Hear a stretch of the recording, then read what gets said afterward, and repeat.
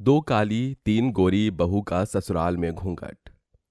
दुर्गेश्वरी अपनी पाँच बहुओं की शादी अपने पाँच बेटों से करवा कर उन्हें घर ले आती है, जिनमें से दो काली और तीन बहू गोरी और सुंदर होती हैं। अरे, बाहर क्यों खड़ी हो? चलो अंदर आ जाओ। तुम तीनों कितनी सुंदर लग रही हो। मैंने तुम तीनों के लिए चावल का कलश भर के रखा है, इसे अपने दाहिने पैर से धकेल कर अंदर आ जाओ। दुर्गेश्वरी की तीनों गोरी बहू कलश को धकेल कर अंदर आ जाती हैं, जिसके बाद उसकी दो काली बहू दरवाजे पर ही खड़ी रह जाती हैं। लगता है माँ तुम्हारे बारे में भूल ही गई है। चलो कोई बात नहीं तुम भी अंदर आओ और इसे अपना ही घर समझो। अर्जुन और विपिन दोनों अपनी दोनों पत्नियों को घर के अंदर ले आते हैं जिसके बाद एक तरफ़ तो दुर्गेश्वरी अपनी तीनों गोरी बहुओं को उनके कमरे में ले जाती है तो वहीं अर्जुन और विपिन दोनों अपनी अपनी पत्नियों को अपने कमरे में ले जाते हैं। तुम थक गई होगी, थोड़ी देर रेस्ट कर लो। उसके बाद तो शादी की, अभी बाकी की रस्में भी करनी है। इतना कहकर विपिन वहाँ से चला जाता है। कुछ देर बाद पाँचों बहू फ्रेश होकर अपनी सास के पास आ जाती हैं। दुर्गेश्वरी अपनी दोनों काली बहुओं को देखते ही मुँह बना लेती है और उनसे कुछ नहीं कहती। तो वहीं दूसरी तरफ़ वो अपनी गोरी और सुंदर बहू को देखते ही खुश होती है और उनसे कहती है अरे, देखो तो सही, कितनी सुंदर और प्यारी लग रही हो तुम तीनों चलो, अब अपनी रसोई की रस्म के लिए चलो अपने हाथों से बढ़िया बढ़िया बना कर खिलाना दुर्गेश्वरी अपनी तीनों गोरी बहुओं को रसोई में ले जाती है, जिसके बाद दोनों काली बहू आपस में बातें करती हैं। आखिर माँ जी हमारे साथ ऐसा व्यवहार क्यों कर रही हैं? वो हर एक रस्म में हमारी गोरी बहनों को ही पूछ रही हैं। पता नहीं ऐसा क्यों हो रहा है, लेकिन कोई बात नहीं माँ जी हमें अपने आप बता देंगी कि हमें क्या करना है। वो दोनों वहीं सोफे पर बैठ जाती हैं, जिसके थोड़ी ही देर बाद वहाँ दुर्गेश्वरी आती है और उन दोनों को बैठा हुआ देख अपने मन ही मन सोचती है। पता नहीं कैसे ये दोनों काली कलूटी इन तीनों की बहनें हैं। अगर मेरा बस चलता तो इन दोनों को अभी इस घर से निकाल फेंकती लेकिन क्या करूँ? इतने अमीर घराने से रिश्ता तोड़ भी तो नहीं सकती। खैर छोड़ो, इन दोनों को घर के अंदर बिठा कर तो नहीं रख सकती।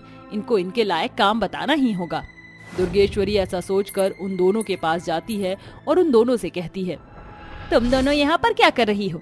और ऐसे क्यों बैठी हो? क्या तुम्हें नहीं पता कि शादी के बाद घूंघट करके रहना चाहिए? माफ़ कीजिए कमा जी हमारी माँ नहीं है, इसलिए हमें कुछ ज़्यादा नहीं पता। अगर आप चाहती हैं तो हम घूंघट कर लेते हैं। दुर्गेश्वरी के कहने पर दोनों बहनें घूंघट कर लेती है, जिसके बाद दुर्गेश्वरी उन दोनों से कहती है अच्छी बात है कि तुम दोनों ने घूंघट कर लिया। अब तुम्हारी शक्ल कोई नहीं देख पाएगा। चलो अब जाओ तुम घर के सारे काम करो यानी कि साफ़ सफ़ाई देखो कितने जाले लग रहे हैं। घर में आ, ये सब साफ़ कर दो। तुम्हारे लिए बस यही काम है। बाकी तो खाना तुम्हारी बहनें वहाँ बना ही लेंगी। दुर्गेश्वरी ऐसा कहकर वहाँ से चली जाती है जिसके बाद दोनों बहनें काम करने लगती हैं। तभी महिमा कहती है हम दोनों को माँ जी ने घूंघट करके रहने के लिए कहा है लेकिन हमारी तीनों बहनें तो बिना घूंघट के ही रह रही हैं। ऐसा क्यों? अरे, तुम तो जानती ही हो ना, इस घर की हम दोनों बड़ी बहू हैं। अगर हम ही बिना घूंघट के रहेंगे तो बाहर की औरतें हमारी सास को कितनी सारी बातें सुनाएँगी। महिमा कोयल की बात सुनने के बाद कुछ नहीं कह पाती, जिसके बाद दोनों बहनें मिलकर घर की अच्छे से साफ़ सफ़ाई कर देती हैं। दोनों बहनें सारा दिन घूंघट करके रहती, जैसे ही उन दोनों को तीनों गोरी बहनें खाना बनाकर तैयार कर देती हैं, वह तीनों अपनी दोनों बहनों को बुलाने के लिए जाती हैं। अरे, आप दोनों कहाँ थी? हम कब से आपको ढूंढ रहे हैं? आप दोनों को पता है, आज हमने अपने हाथों से खाना बनाया है, वो भी आपके बिना मदद लिए। दीदी, मैं जानती हूँ कि हम हमारे ससुराल में हैं, लेकिन मैं चाहती हूँ कि आप दोनों हमारा बनाया हुआ खाना पहले टेस्ट करो। हमने रसोई में आप दोनों के लिए निकाल कर रखा है। चलिए हमारे साथ। अरे नहीं बहन, इस घर में बड़ी माँ जी हैं। हम दोनों अपनी मायके में बड़ी थी तो इसलिए पर यहाँ खाने को टेस्ट करने का सबसे पहला हक माँ जी का ही है कोयल की बात सुनने के बाद उसकी तीनों गोरी बहनें कुछ नहीं कह पाती हैं। कुछ ही देर में खाने की टेबल पर दुर्गेश्वरी के पाँच बेटे और दुर्गेश्वरी बैठकर खाने लगती हैं। वहीं उसके पास उसकी तीनों गोरी बहू और उसकी दोनों काली बहू जो कि घूंघट करके खड़ी होती हैं।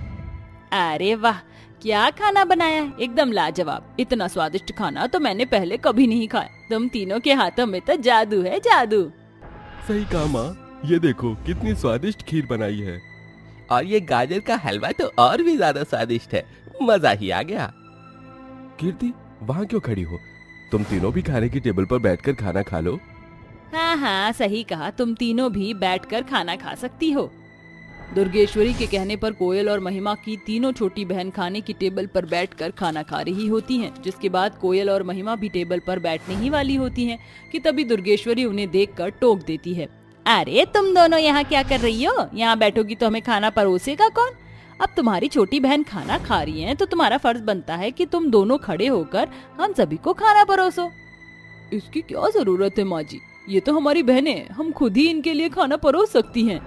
समायरा ऐसा कहकर टेबल से उठ जाती है और वह वहाँ अपनी बहन को बिठा देती है ऐसे ही वो तीनों अपनी दोनों बहनों को बिठाकर उन्हें खाना परोसती हैं। उनका एक दूसरे से इतना प्यार देखकर दुर्गेश्वरी अपने मन ही मन जलने लगती है अगर ऐसा ही रहा तो मैं इन पाँचों से सारी प्रॉपर्टी अपने नाम कैसे करवाऊँगी मुझे कोई ना कोई तो रास्ता ढूंढना ही पड़ेगा दुर्गेश्वरी को अपनी पाँच बहू से केवल प्रॉपर्टी का ही लालच था, जिसके चलते वो किसी भी तरह अपनी पाँच बहू से प्रॉपर्टी के कागज़ पर सिग्नेचर करवाने की कोशिश करती हैं।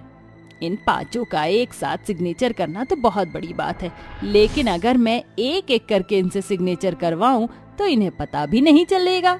दुर्गेश्वरी ऐसा सोचकर सबसे पहले अपनी तीनों गोरी बहुओं को झूठे पेपर के नाम पर, प्रॉपर्टी के पेपर पकड़ा देती है और उनके ऊपर उनके साइन ले लेती है। ऐसे ही अपनी दोनों बड़ी बहू के साथ वो करने वाली होती है, लेकिन वो सबसे पहले एक एक पेपर चेक करती हैं, जिसके चलते उन्हें ये समझ आ जाता है कि ये कोई मामूली पेपर नहीं, बल्कि उनकी ही प्रॉपर्टी के पेपर होते हैं। ये क्या माँ जी? इसका मतलब आप ये शादी पैसों के लालच में कर रही थी? लेकिन मुझे तो लगा था कि हम दोनों के चेहरे की वजह से आपने हमारे साथ ऐसा व्यवहार किया। तुम दोनों बहनों ने अपनी शक्ल भी देखी है? कभी ज़िंदगी में तुम जैसी लड़कियों से कौन शादी करेगा? मैं तो बिल्कुल नहीं चाहती थी, लेकिन क्या करूँ? इतनी प्रॉपर्टी के हकदार सिर्फ़ तुम पाँचों बहनें ही हो। तो मैंने सोचा, जब तुम्हारी शादी मेरे घर हो जाएगी तो सब कुछ मिल जाएगा। ये सब दुर्गेश की सारी बातें पर्दे के पीछे उसके पाँच बेटे और तीनों गोरी बहू सुन लेती हैं, जिसके बाद उन सभी को दुर्गेश्वरी की सच्चाई से बहुत दुख होता है। मुझे नहीं पता था कि इन सब में तुम सारे मिले हुए हो। खैर, मुझसे बहुत बड़ी गलती हो गई।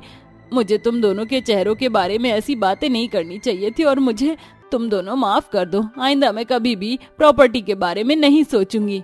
महिमा और कोयल दोनों ही अपनी सास को माफ़ कर देती हैं। जब से इस घर में आई हूँ तब से ही सिर्फ़ एक ही चीज़ के लिए तरस रही हूँ कि आप हम दोनों को अपनी बहू स्वीकारेंगी। तुमने बिल्कुल सही कहा, मुझे तुम्हारे साथ ऐसा नहीं करना चाहिए था। आज से मैं तुम्हें अपनी बहू स्वीकारती हूँ। उस दिन के बाद से दुर्गेश्वरी अपनी दोनों काली बहुओं को अच्छे से संभाल लेती है और उनके सर से घूंघट उठा देती है। अब वह पाँचों बहनें एक ही ससुराल में खुशी खुशी रहने लगती हैं। पूजा की शादी एक बहुत ही अमीर परिवार के लड़के राकेश से हो जाती है। शादी के बाद पूजा अपने बड़े से घर में अपने ससुराल में थी। पूजा बहुत ही गरीब परिवार की बेटी थी। पूजा के ससुराल में उसकी सास रूपाली, जो पूजा और राकेश की शादी से नाखुश थी, पर पति शामू की जिद के आगे रूपाली ने अपने घुटने टेक दिए। शादी के दो दिन बाद पूजा अपनी सास के लिए चाय ले आती है। रूपाली जैसे ही चाय पीती है, तभी वो चाय पूजा के ऊपर फेंक देती है। गंवार कहीं की तुझे चाय बनाना भी नहीं आता, ना उसमें चीनी का मज़ा है, ना पत्ती की। मुझे माफ़ कर दीजिए माँ जी, मैं दोबारा से आपके लिए चाय बना देती हूँ। कोई ज़रूरत नहीं है, गरीब कहीं की। मानवी बहू, तुम मेरे लिए चाय ले आओ। और सुन, पूजा पूरे घर की अच्छे से सफ़ाई कर, और एक बात कान खोल कर सुन ले। अगर मेरे घर के महँगे सोफे पर तूने बैठने की हिम्मत भी की ना तो तुझे इस घर से ही बाहर निकाल दूँगी मैं। जा यहाँ से। पूजा उदास होकर घर में सफ़ाई करने लग जाती है। थोड़े समय बाद रूपाली की बड़ी बहू मानवी रूपाली के लिए चाय ले आती है।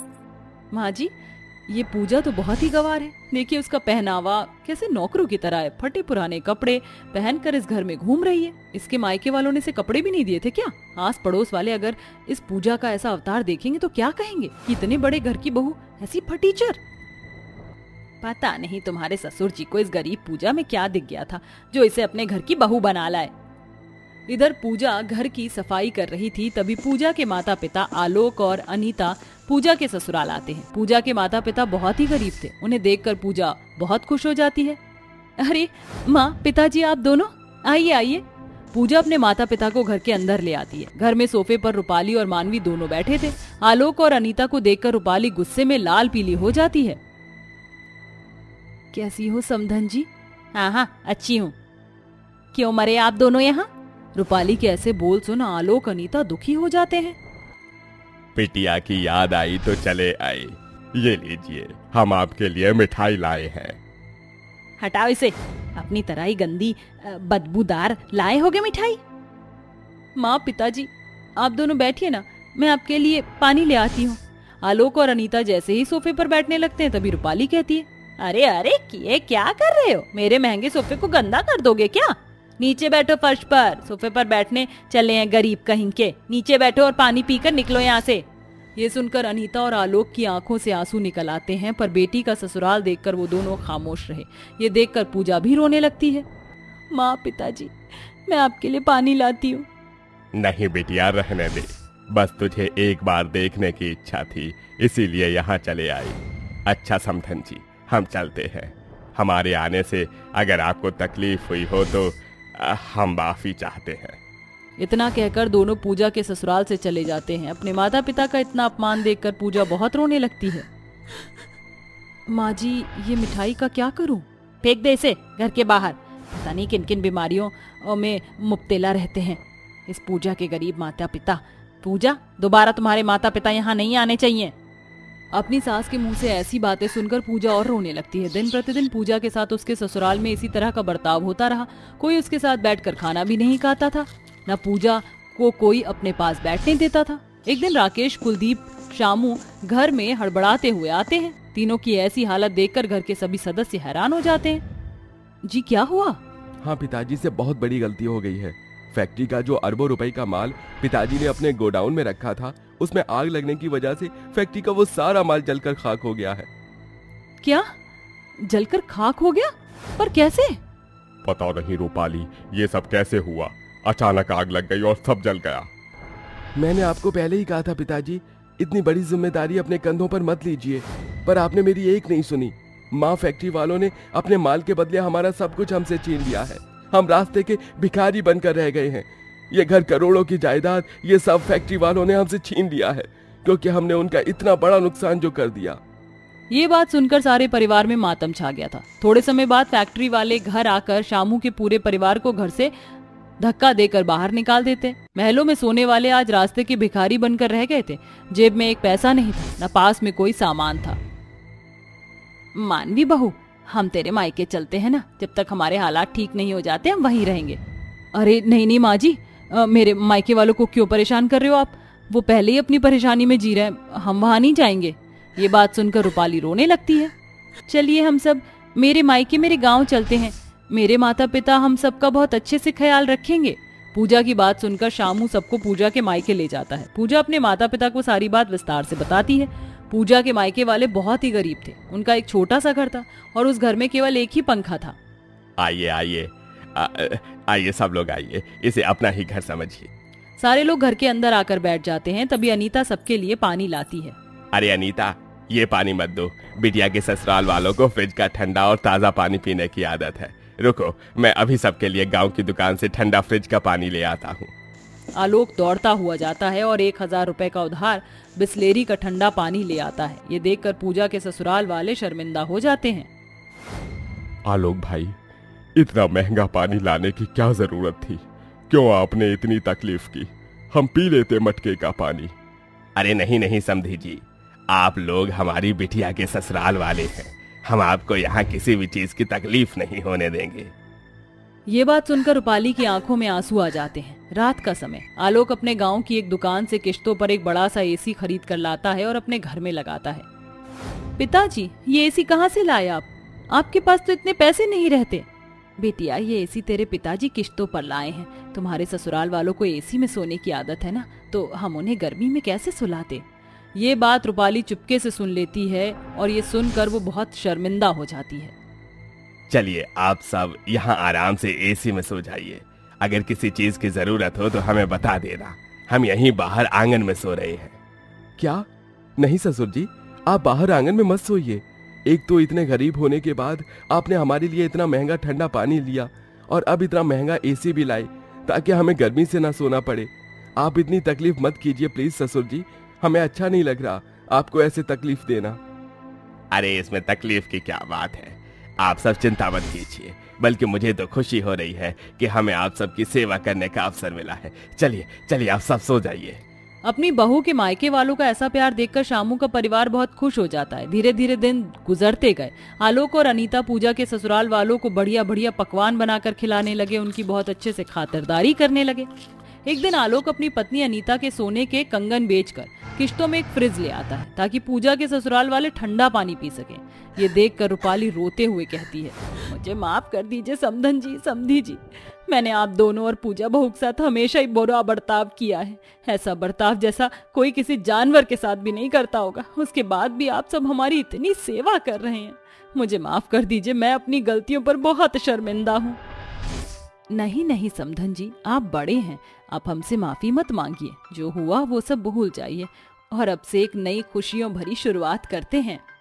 अनीता और रूपाली दोनों गले लिपट कर रोने लगते हैं और कुछ दिन बाद ही कुलदीप और राकेश को फिर से फैक्ट्री में काम करने का मौका मिल जाता है और वो एक बड़ा सा घर रेंट पर लेकर अपने परिवार के साथ उस घर में रहने लगते हैं। तभी रूपाली अपने बेटों से पैसे लेकर पूजा के माता पिता को नया फ्रिज, एसी और कई सारी चीज़ें खरीद कर देती है, जिसके बाद सब कुछ अच्छा हो जाता है।